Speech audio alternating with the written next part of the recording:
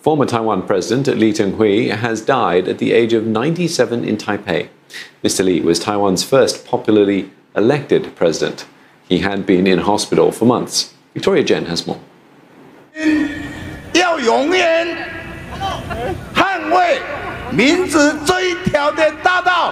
There was no lack of controversies in the life of Lee Teng-hui, the first Taiwan president elected by popular vote after more than four decades of authoritarian rule.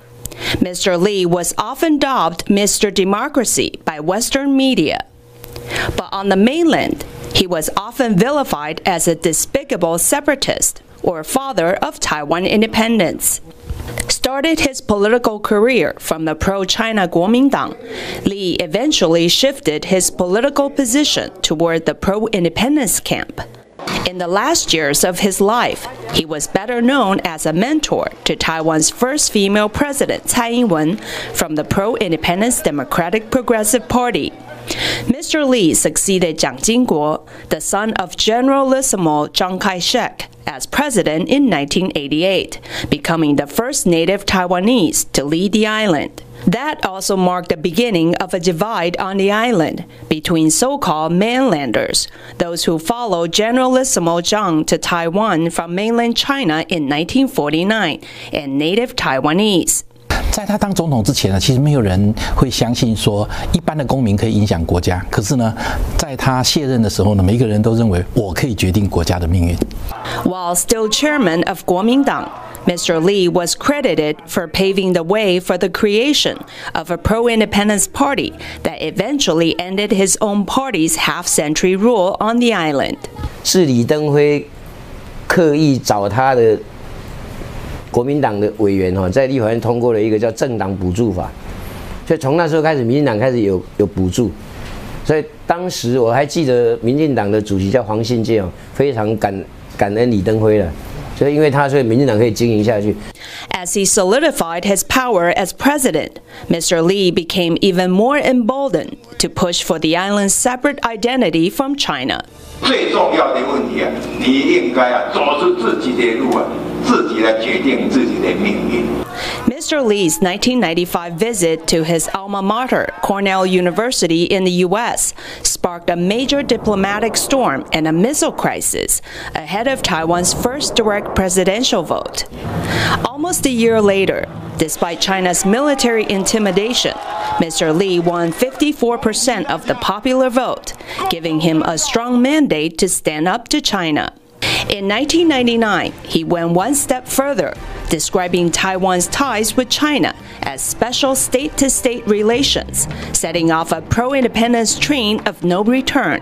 Beijing was furious.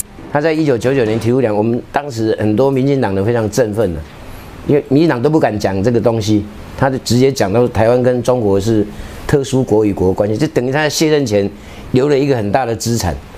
哦，给台湾后来的领导人，就是你是一个国家的，不用去对中国卑躬屈膝。自由民主万岁！Mr. Lee's self-imposed mission to break from China bore its first fruit in 2000 in the election of Chen Shui-bian from the DPP as Taiwan president.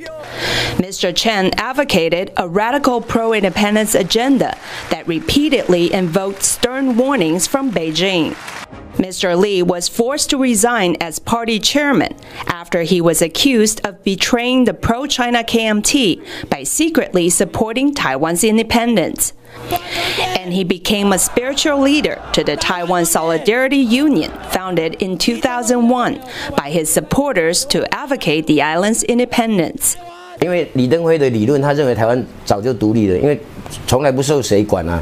我们要的是台 台湾共和国或者福福尔摩沙共和国，属于我们自己的名字，不要说用一个外来的国家的名字。台联的概念是这样。he was often seen campaigning for pro-independence politicians, including President Tsai Ing-wen. Despite old age, he remained active politically and continued to make headlines and at times came under fire for his out-of-place remarks. この尖閣列島については私は何回か発表しましたはっきりと尖閣列島は日本のものであると台湾のものではありません Growing up under Japanese colonial rule in Taiwan, Lee was never shy about showing his affinity for Japan.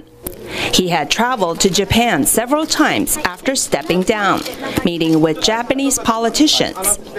The legacy that Mr. Lee left behind may be controversial, there is no denying that his political pursuits had helped accelerate Taiwan's democratization, making the island one of the most vibrant democracies in Asia.